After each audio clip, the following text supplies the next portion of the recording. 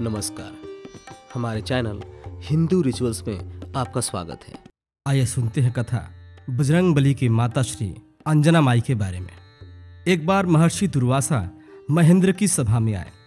उस समय सभा में नृत्य चल रहा था, जिसमें अप्सरा श्रेष्ठ पुंज कस्थला भी मौजूद थी।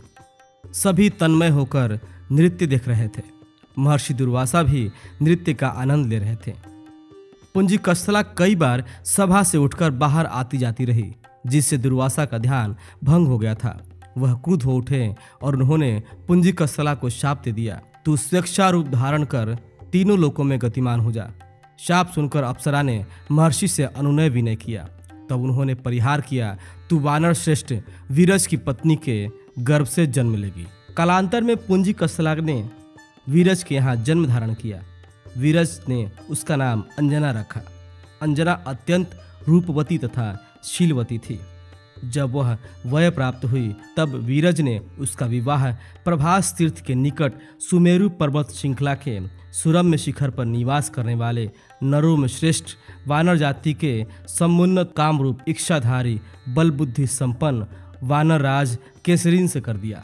एक समय प्रभास तीर्थ में महर्षि भारद्वाज सहित अनेक ऋषिगण आए और धर्म कर्म में संलग्न हो गए। सहस्रा एक वज्रपात हुआ। शंख शवल नामक मत गज ने वहाँ आकर उत्पात मचा दिया और ऋषियों पर प्रहार करने लगा। वानर श्रेष्ठ केसरी की दृष्टि पर्वत शिखर से नीचे पड़ी।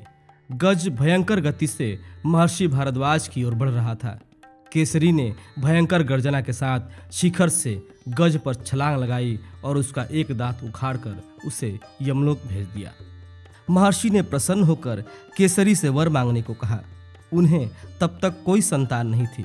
अतः उन्होंने महर्षि से कहा, महात्मा, यदि आप मुझ पर प्रसन्न हैं तो कृपया मुझे इच्छा रूप धारण करने वाला पवन के समान पराक्रमी, रुद्र समान शत्रुंजयी पुत्र का वरदान दे। कुछ दिवस पश्चात अंजना सायं बेला में पर्वत शिखर पर विचरण कर रही थी। सुंदर वस्त्र और आभूषण से सुसज्जित वह अस्ताचलगामी सूर्य का दर्शन कर आनंदित हो रही थी कि अचानक वायु का वेग उनके समीप तीव्र हो गया, जिससे उनका वस्त्र उड़ने लगा, जबकि चतुर्दिक वातावरण शांत था। वृक्ष पल्लव तक शांत थे। उन्हें लगा कोई अदृश्य दुष्ट उन्हें परेशान कर रहा था, अतः उन्हें क्रोध आ गया।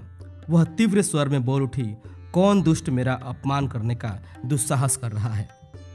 देवी कुपित न हो, मैं पवन देव हूँ। कृपया मुझे शाप न दे, देवी। देव केसरी ने मेरे समान पराक्रमी पुत्र की महर्षि भारद्वाज से याचना की थी और महर्षि ने उन्हें याचित प्रदान भी किया। उन्हीं महर्षि के वचन को सत्य करने हेतु मैं आपका शरीर स्पर्श करने हेतु विवश हुआ। मेरे अंश स्पर्श से आपको मेरे समान पराक्रमी पुत्र की प्राप्ति होगी। महेश्वर रुद्र ही मेरे स्पर्श द्वारा स्वयं आप में प्रविष्ट हुए हैं और वह ही आपको पुत्र रूप में प्राप्त होंगे। इसे सुनकर देवी अंजना का क्रोध शांत हुआ।